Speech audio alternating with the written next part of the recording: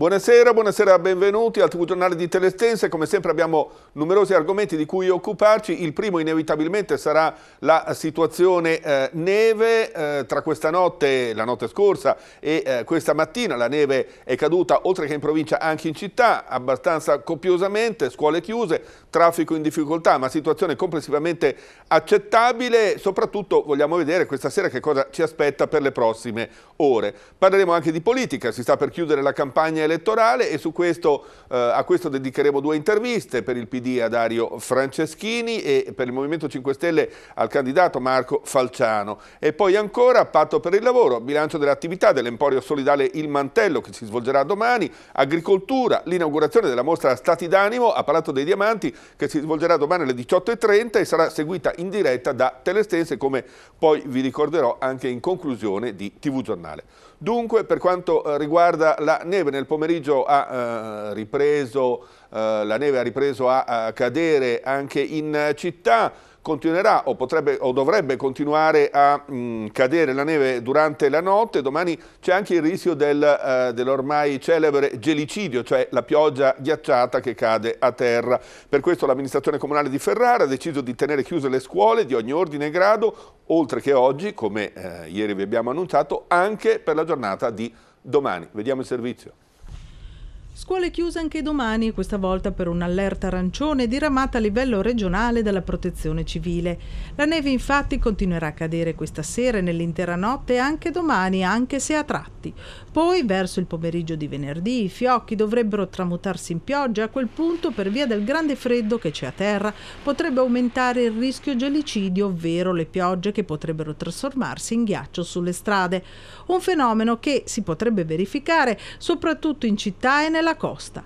Questa mattina intanto le strade principali del centro si sono presentate percorribili. Al Parco Massari, chiuso per precauzione, sono arrivati anche i tecnici del Verde a mettere in sicurezza le querce secolari che in passato, con il peso della neve, subirono qualche danno. C'è poi chi, nonostante gli inviti da parte delle istituzioni, ha azzardato anche l'uscita in bicicletta e molti hanno spalato davanti all'uscio di casa e sui marciapiedi. Verso l'ora di pranzo, in alcune parti della città, ad esempio verso Coronella, sono caduti circa 10 cm di neve. Nel pomeriggio, dopo le 17, i mezzi spargisale, le lame del comune di Ferrara, inoltre, hanno ripreso il lavoro a causa della nuova nevicata.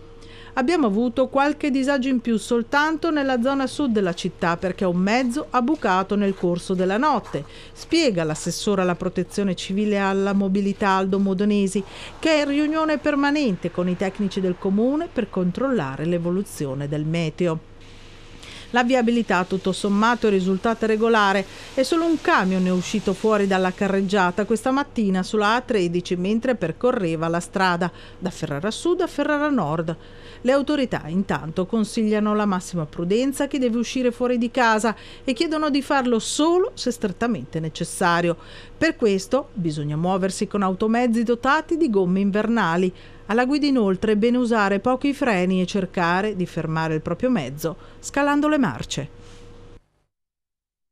La Regione Emilia-Romagna, il servizio meteo, ha emesso un'allerta arancione, quindi di gravità medio-alta, per ghiaccio, pioggia gelata, per province di Parma, Reggio, Modena, Bologna, Ferrara e per la uh, Romagna. Questo conferma ciò di cui si parlava nel servizio che abbiamo appena visto. In pratica, a partire dalla sera di oggi, sono previste precipitazioni che potrebbero anche appunto degenerare in pioggia gelata sulle colline e anche sui rilievi romagnoli. E poi domani precipitazioni a carattere di neve sulla parte occidentale della eh, regione, si potrebbe formare ghiaccio al suolo, fenomeni di pioggia gelata nel resto del territorio, insomma una situazione complessivamente eh, non facile eh, rispetto alla quale registriamo questo appello del 118.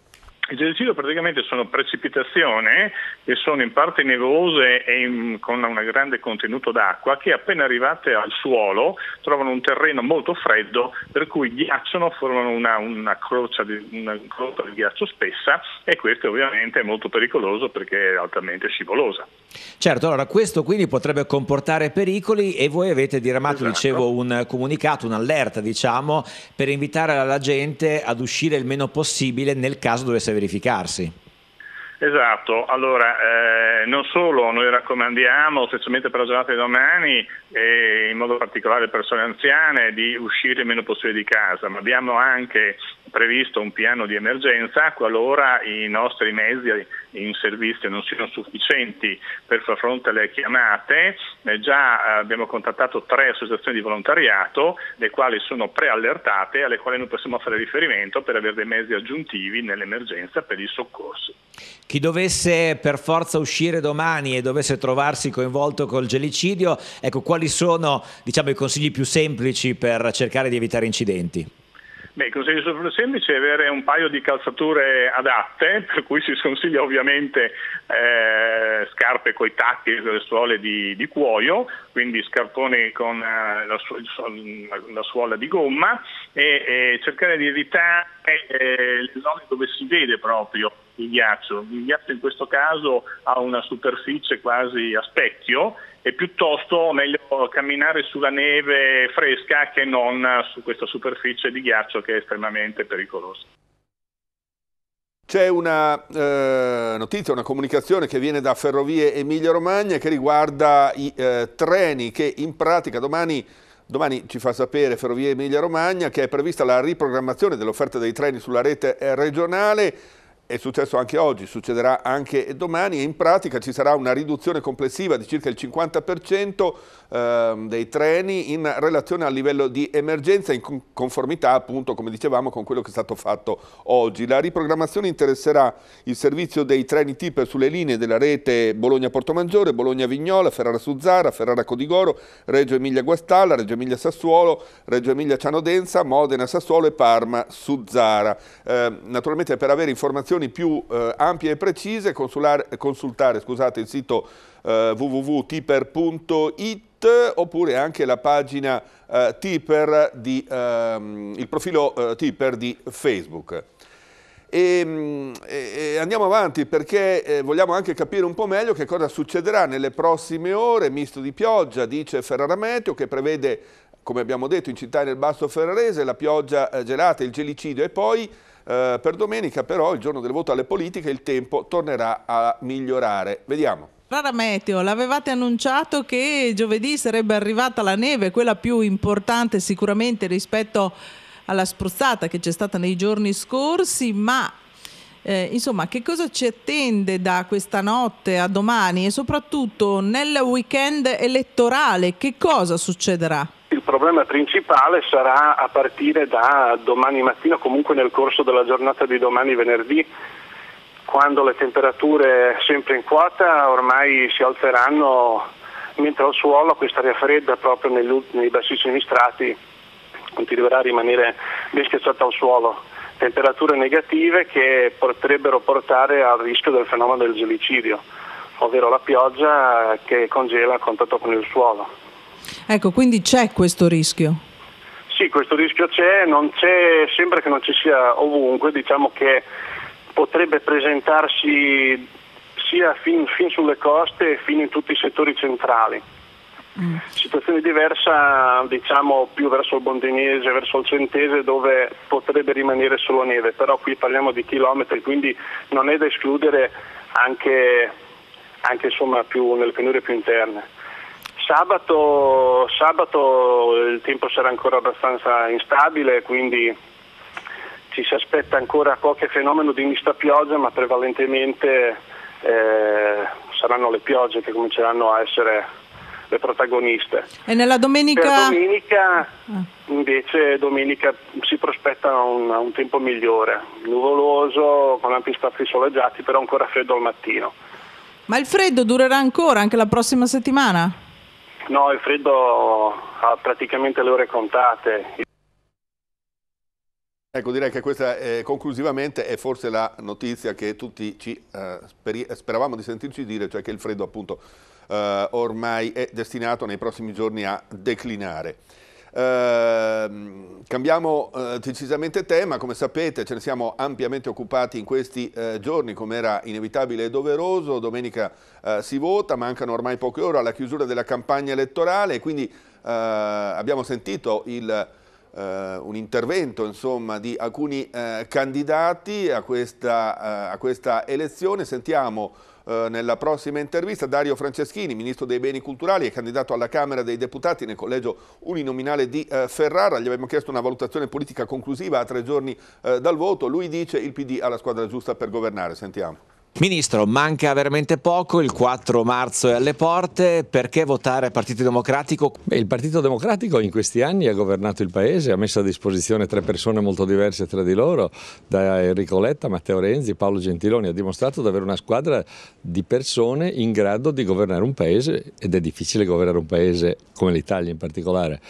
Poi mi giro dall'altra parte e dico ma chi è in grado? Matteo Salvini che grida soltanto, che ha estremizzato le posizioni del centrodestra o i 5 Stelle che cavalcano tutte le giuste delusioni e rabbia delle persone ma non propongono nessuna soluzione.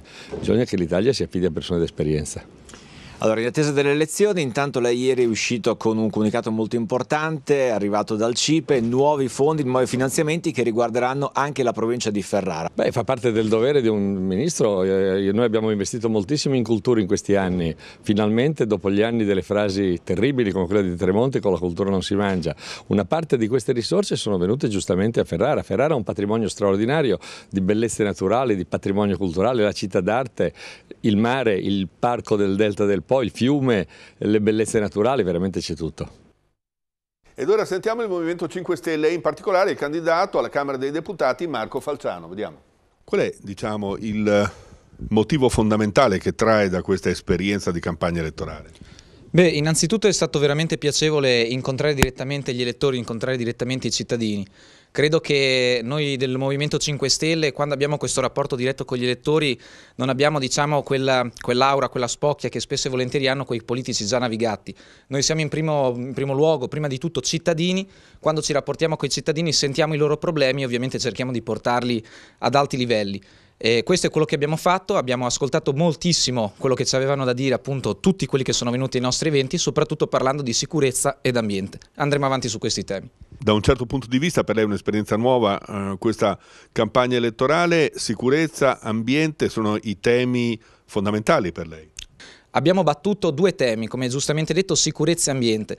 Spesso sicurezza è confusa o semplicemente limitata alla sicurezza personale dalle altrui violenze, mentre secondo noi la sicurezza è anche sicurezza della salute, sicurezza dell'ambiente e quindi sicurezza delle persone in un territorio che purtroppo come il nostro è fortemente antropizzato, l'agricoltura intensiva ha inquinato pesantemente le falde acquifere e il suolo, gli inceneritori, il polo chimico purtroppo continuano eh, con questo vecchio retaggio industriale e non si investe come noi vorremmo a sufficienza, adeguatamente, nel rinnovabile, nel, nel rifiuto zero. Questo è quello che vogliamo, vogliamo un territorio più pulito, vogliamo delle nuove risorse, vogliamo dei nuovi mezzi di produzione, una eh, rivoluzione agricola, come abbiamo più volte rivendicato, vogliamo un cambiamento. E di elezioni si sono occupati anche i cacciatori perché un tavolo politico appunto dei cacciatori, lo vediamo in queste immagini, si è tenuto nei giorni scorsi a Copparo in previsione del voto di domenica, le associazioni al centro Parco Verde di Copparo hanno rivolto alcune domande ai candidati sul futuro della caccia per una serata moderata dal comandante, eccolo qua, della Polizia Provinciale Claudio Castagnoli. Eh, in particolare mh, i cacciatori hanno chiesto eh, a un eventuale futuro governo e quindi ai candidati eh, il riconoscimento del ruolo di salvaguardia dell'ambiente per il cacciatore, un riconoscimento a cui naturalmente eh, chi fa caccia tiene molto. Poi l'importanza sempre del cacciatore attraverso i coadiutori per il contenimento della, delle specie eh, diciamo, che hanno una popolazione eccessivamente prolifica e infine le stesse associazioni venatorie hanno chiesto regole uniche per le zone parco locali. Ed ora parliamo di lavoro. Ieri Castello Estense si è eh, tenuto Uh, un incontro nel corso del quale è stato firmato un uh, patto per il lavoro diciamo, su Ferrara. Come sapete la regione Emilia-Romagna con uh, il presidente Bonaccini a inizio legislatura ha avviato un percorso che ha portato alla firma di un accordo regionale, un patto per il lavoro regionale. Ieri a Ferrara presenti Tagliani come presidente della provincia e Bianchi come assessore regionale è stato firmato un patto per il lavoro con un focus su Ferrara. Vediamo. La provincia di Ferrara sconta ancora oggi un divario strutturale dal punto di vista economico rispetto alle altre province dell'Emilia-Romagna. Per questo ieri in Castello Estensa la presenza dell'assessore regionale Patrizio Bianchi è stata sottoscritta in consulta provinciale dell'economia e del lavoro il focus ferrarese del patto per il lavoro, con il quale la regione Emilia-Romagna, la provincia di Ferrara, i comuni del territorio ferrarese, l'università e le rappresentanze del mondo socio-economico locale si sono impegnate a condividere obiettivi e responsabilità per il rilancio dello sviluppo sviluppo e dell'occupazione della provincia di Ferrara. Il Focus Ferrara, ha detto l'assessore Bianchi, risponde pienamente agli obiettivi del patto per il lavoro regionale di creare sistemi territoriali forti, integrati, capaci di generare dal basso visioni di sviluppo. Tutti gli strumenti della regione, ha proseguito, sono a disposizione per dare attuazione agli impegni presi e riportare il territorio ferrarese a una crescita omogenea a quella regionale. Una politica regionale di equità territoriale, ha detto il presidente della provincia, sindaco di Ferrara Tiziano Tagliani, ha l'obiettivo di ridurre i divari territoriali e favorire i processi che consentono alle aree più fragili di agganciare i trend di crescita economica, sociale e territoriale. Questo approccio ha già portato risultati, quasi 70 milioni di euro per i beni culturali, un miliardo per la ricostruzione civile e mondo produttivo, 2 miliardi di investimenti per le strade, a cui si aggiungono i 160 milioni per la mobilità sostenibile del ferro e dell'idrovia, nonché i 30 milioni di euro per le infrastrutture digitali. Ecco, naturalmente questi accordi sono tentativi di eh, appunto accrescere la capacità del territorio di eh, creare imprese e quindi anche creare posti di lavoro, ma purtroppo la eh, sofferenza di molte famiglie è eh, nota, la situazione di difficoltà di molte famiglie è nota ed è un tipo di eh, difficoltà a cui ha cercato nell'arco dell'ultimo anno, di questi dodi, ultimi 12 mesi, di dare una risposta all'Emporio Solidale Il Mantello di Ferrara, che è collocato in via Mura di Portapoi e rappresenta un modello innovativo di welfare comunitario. Domani, a partire dalle 10, nella sala conferenze della Camera di Commercio di Ferrara si terrà un incontro, un convegno, con l'obiettivo di fare appunto un bilancio delle attività svolte nell'arco di questi primi 12 mesi di attività proprio dall'Emporio Solidale Il Mantello. L'evento sarà moderato da Dalia Bighinati che come sapete dirige la redazione di Telestense, la nostra emittente d'altra parte è partner partner gold diciamo, del progetto insieme a Biperbanca, a Coop Alleanza 3.0, alla cooperativa Camelot. Dagli Abighinati intervisterà tra il pubblico i partner presenti, mm, che non sono solo quelli che vi ho eh, indicato, ma ce ne sono molti altri, ma anche i sostenitori, i volontari e privati cittadini. L'Emporio Solidale Il Mantello è una bella iniziativa, obiettivamente nasce da un progetto di agire sociale in centro servizi volontariato, come abbiamo detto, con numerose partnership da parte di aziende del territorio. Ed ora l'agricoltura. Questa mattina Coldiretti, presso la propria sede di Ferrara, ha ospitato e incontrato il ministro Franceschini. Obiettivo presentare le proprie richieste nel settore agroalimentare ai candidati delle eh, imminenti elezioni del 4 marzo. Coldiretti sta presentando in questi giorni di campagna elettorale un proprio manifesto in cui chiede ai candidati le priorità per l'agricoltura ed il settore agroalimentare da affrontare nei primi giorni di legislatura. Nella mattinata di giovedì 1 marzo, a confrontarsi con i vertici locali e regionali di Coldiretti, è stato il ministro Dario Franceschini, a cui sono stati illustrati i punti principali del manifesto. Diciamo che noi sostanzialmente chiediamo un impegno sui nostri temi, soprattutto rispetto del territorio, rispetto del cibo, chiediamo l'istituzione del Ministero del Cibo, un impegno forte sull'etichettatura e la difesa dell'etichettatura con il nome del Paese anche in Europa che oggi ahimè è ad alto rischio e quindi anche su quello bisogna concentrarci. La valorizzazione del cibo con la un ministero eh, dedicato al, a, questo, a, questi grandi prodotti dell'agroalimentare e poi tanta trasparenza e legalità, la trasparenza sulle importazioni che ancora non, eh, non c'è, la legalità quindi lotta alle agromafie in maniera importante perché poi sono l'elemento di criticità maggiore che nel nostro Made in Italy abbiamo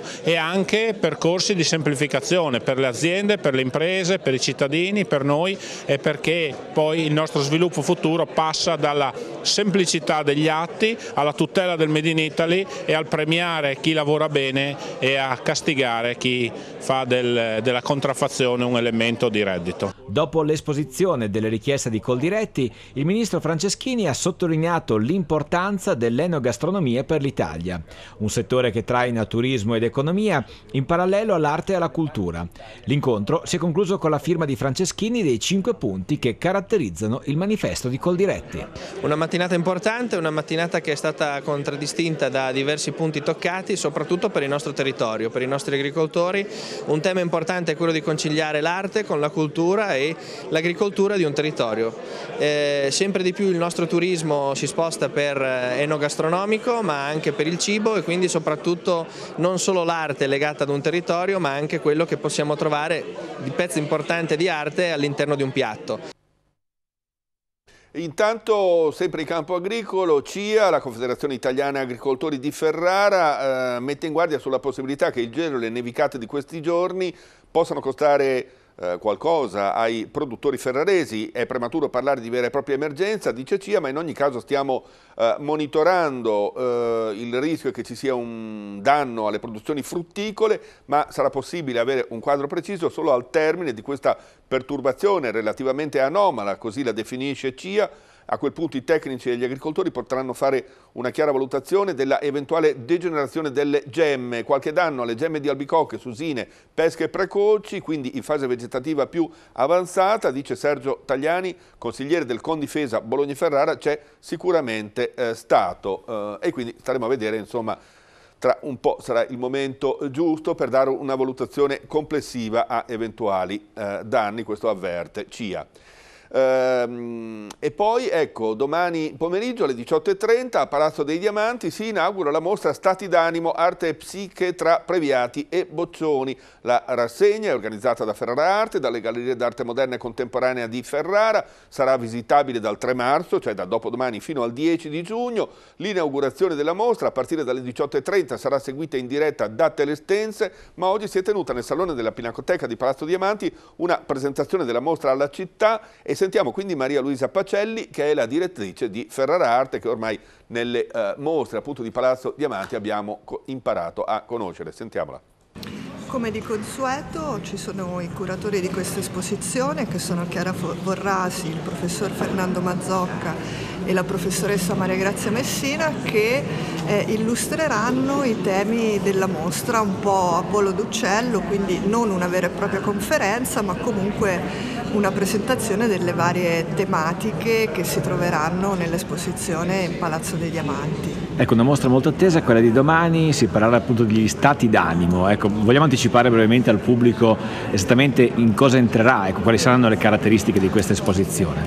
Eh, la mostra racconta un periodo molto importante per l'avvento della modernità artistica, ma non solo, eh, quando le, le, scienze, ma anche la, la cultura in generale, l'arte, la letteratura, eh, sono tutte concentrate sugli stati psicologici eh, perché siamo diciamo, agli albori della nascita della, della, psicanalisi, degli studi della psiche e, e tutto questo si riversa anche nella ricerca artistica. Eh, la mostra racconta questa storia dalla fine dell'Ottocento fino all'avvento dell'avanguardia futurista e mm, sarà suddivisa proprio in, in stati d'animo, ci saranno diverse sezioni dedicate ai diversi stati d'animo. E così si conclude questa edizione del nostro TV giornale, quindi domani alle 18.30 appuntamento con Telesense per l'inaugurazione eh, della mostra Stati d'Animo a Palazzo dei Diamanti. Per quanto riguarda tutto il resto, domani eh, scuole eh, chiuse in città oltre che in eh, provincia e grande prudenza eh, sulle strade per il rischio di eh, gelate e di pioggia gelate. Io vi ringrazio per l'attenzione, vi auguro una buona serata, continuate sempre a seguirci su telestense.it e sul nostro profilo Facebook. Grazie.